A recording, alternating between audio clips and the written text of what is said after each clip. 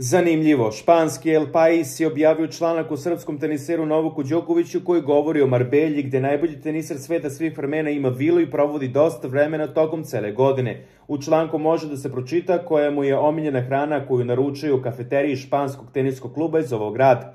Na meniju se nalazi veliki broj jela, pogotovo onih veganskih koje Novak preferira. Jedan od radnika je stao u odbranu Đokovića po pitanju njegove vakcinacije. Ne razumem stvarno zašto su se ljudi okomili na njega kad je u pitanju vakcina. Ja smatram da mora da se poštoje svačija sloboda.